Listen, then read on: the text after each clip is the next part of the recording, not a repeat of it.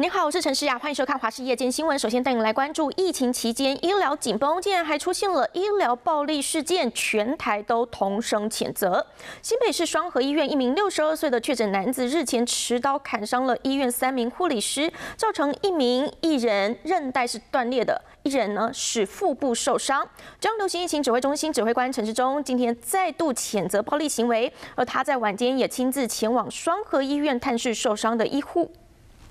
那么也会强化这个医护医院的安全，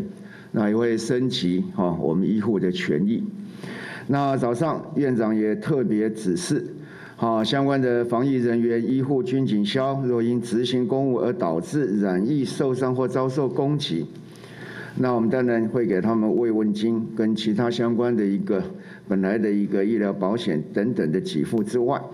我们要给他妥善的照顾。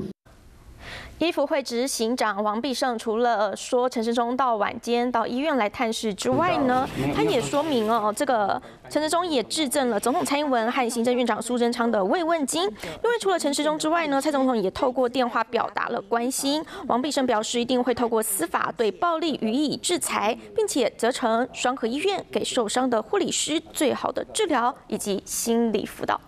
受到伤害，这个不好。